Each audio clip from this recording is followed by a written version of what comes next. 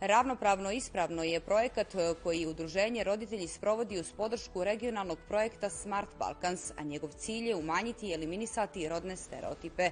Katarina Čarapić, socijalna radnica iz ovog udruženja, u razgovoru za Adrija televiziju objašnjava zašto je važno podizati svijest građana o rodnoj neravnopravnosti. Manje od 11% muškaraca u Crnoj Gori učestvuje u obavljanju kućnih poslova nakon radnog vremena.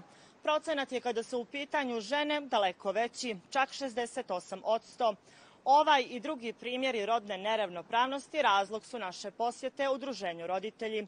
Jer ako želimo eliminisati rodne stereotipe iz društva, treba početi od njegove osnovne ćelije, porodice.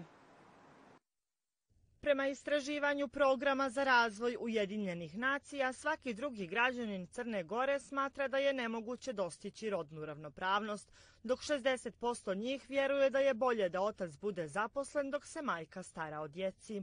Vrlo je važno vratiti se na to da djeci su potrebna oba roditelja i oba roditelja su pojednako važni u odrastanju i odgajanju djeteta i jako je važno da prevashodno država stvara taj ambijent u kojem roditelji, odnosno u ovom slučaju prema ovim podacima, očevi imaju više mogućnosti da provode više vremena i budu ravnopravni uključeni u brizi o, o djeci, ali uopšte o, oko podjele poslova i obaveze kada je u pitanju jedna porodice. Direktiva Evropske unije koja usklađuje privatni i poslovni život propisuje posebne mjere koje se odnose na zakonsko pravo očeva na korišćenje roditeljskog odsustva nakon rođenja djeteta, ali i u slučaju smrti novorođenčeta.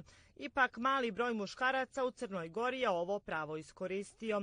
Pitali smo našu sagovornicu da li je u pitanju sramota ili neinformisanost. I to je zaista mala brojka kako uzmemo u obzir da se u prosjeku e, za godinu dana de, e, realizuje od 6000 do 7000 porođaja, a oko 330 očeva iskoristi pra, tu zakonsku svoju mogućnost e, na roditeljsko osustvo. To je jako e, malo i negdje i upravo kampanjom i to želimo da podstaknemo, da se ta brojka poveća, jer je jako važno da to očevi koriste svoje pravo. Ono što se ne, nama negdje pokazalo jeste da vrlo često i budu i neinformisani o svim tim pravima što ih uh, sleduje i zato jeste nekako e, glavna i ključna alatka za našu kampanju jeste informisanje. Iz ovog udruženja poručuju da se rodna ravnopravnost postiže tek onda kada se svi članovi porodice osjećaju zadovoljno u svojim ulogama te dodaju da će edukovano i informisano društvo biti spremnije da prepozna i reaguje na situacije koje podrazumijevaju kršenje rodnih principa.